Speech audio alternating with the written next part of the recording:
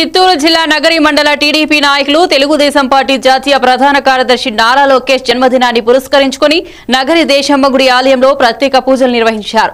లోకేష్ ఇలాగే మరిన్ని పుట్టినరోజులు జరుపుకోవాలని అందుకు దేశమ్మ తల్లి ఆశీస్సులు నిండుగా ఉండాలని తెలుగుదేశం పార్టీ జిల్లా కార్యదర్శి జ్యోతినాయుడు కోరారు. ఈ కార్యక్రమానికి నాయకులు నగర టీడీపీ పట్టణ అధ్యక్షుడు రమేష్ మాణిక్య వాసల్ తదితరులు పాల్గొన్నారు.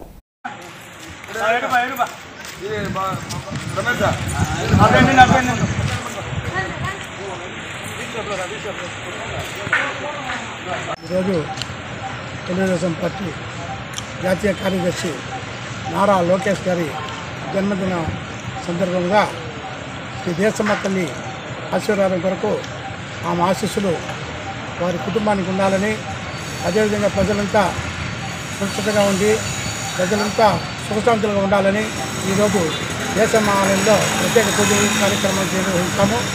అందులో భాగంగా పేదలకు స్వీట్లు పంపిణీ కార్యక్రమం ఏర్పాటు చేయడం జరిగింది.